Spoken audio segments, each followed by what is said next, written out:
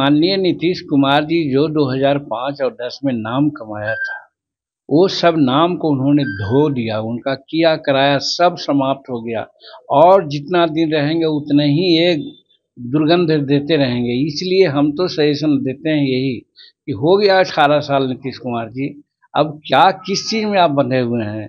अब तो रिजर्वेशन दे दीजिए या चुनाव करा दीजिए, दूसरा कोई आएगा, बिहार को देखेगा बिहार आपसे संभल नहीं रहा है तो लखीसराय की घटना तो वैसी घटना नहीं कर सकते हैं। प्रेमी प्रेम का इसे बहुत मरे जा रहे हैं, मार रहे हैं।